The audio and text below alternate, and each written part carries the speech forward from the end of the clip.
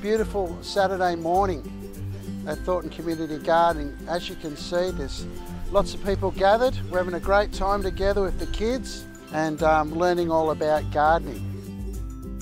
So we all get to be involved here. That's what the uh, community garden's all about. We get to belong, make friends, and um, be part of something that's really special in the community. We meet at the last Saturday of each month, 10 till 12. We start with the coffee, which is necessary to kickstart the day. Then we get in and get our hands dirty, and we're growing stuff together. And we get to harvest as well. You can see all the kids having the time of their life. You just come along, join in. We plant all different sorts of things. We've got vegetables, fruit, herbs, and so forth. And it is for the community, so people can come and harvest things whenever they would like. So the garden's open to anyone. It's, it exists for the community, whether you're a gardener, you've got a green thumb or not. Um, it's really just about creating a sense of community. So it's um, one of the ministries of the church running alongside the playgroup and we find that people who go to the playgroup also are involved with the community garden as well. And again for all ages, from young It's a great opportunity for dads to be dads, get their hands dirty, connect with other men, which um, is good for us to do, and get wet.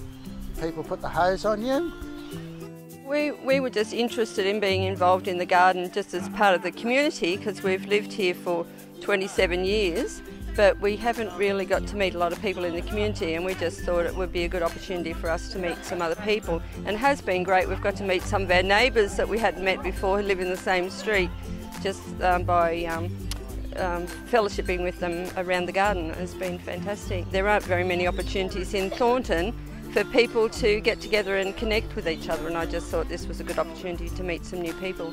Um, well, I look after worms and when we go I um, put them back and do you know why worms are um, good for gardens? Because they help them grow.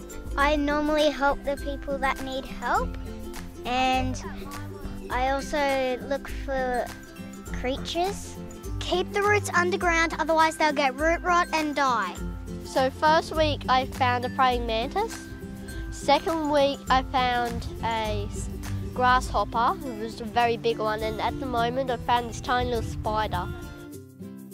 So we meet here as a community the last Saturday of each month uh, from 10 to 12 o'clock and we start, we meet around the coffee cart, cappuccino and latte and so forth because it's all about the coffee and then we proceed over to the garden and, and get in it together as a as a community. So we're really excited about the ministries of the church. So a big part of who we are is this sense, we want to create this sense that uh, belonging, that you can um, not feel alone and isolated in life, but you can connect and make friends and belong. So the ministries of the church exist for that reason and we're finding a lot of crossover now between the ministries and people really do feel like they belong and are accepted and get to do life together.